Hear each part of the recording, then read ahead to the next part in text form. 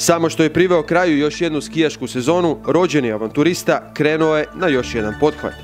Ovoga puta želi prepješačiti Island što na skijama, što bez njih. Već su dva dana iza njega, a u nepunih mjesec dana prevalit će 730 km. Ivica je na sjevernu islandsku točku stigao par dana prije, obavio sva testiranja i na 9 km od južnog polarnog kruga u zvuk valova Grenlandskog mora krenuo u još jednu avanturu.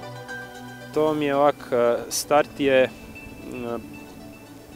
relativno jako sjeverno, znači e, os Islanda prelazimo sa sjeveroistoka do jugozapada, cilj je u Reykjaviku, start je dakle daleko gore na sjeveru, nema nikakvih gradova na putu i zapravo ne slijedimo putove. Ceste su u ovo doba godine većinom zatvorene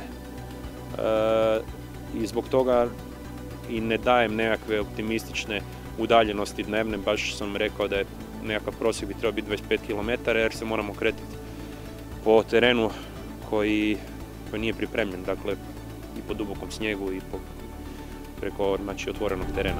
Putovanje preko snijega na skijama je pravi užitak, ali muka počinje u beskrajnim labirintima lavinih polja, bez snijega, rekao Ivica, a ekipa sačinjena od Islanđanina, Slovenca Ivice, poželjela je samo put bez kiše, što je glavna kletva na Islandu.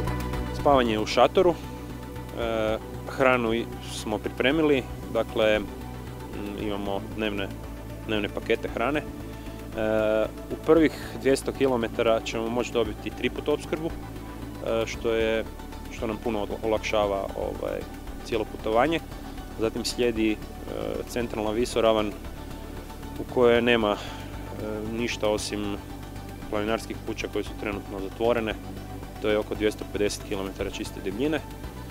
E, I nakon toga ćemo ponovo dobiti opskrbu, da se nadam, na izlasku iz te centralne visoravni, što je otprilike 150 km od cilja.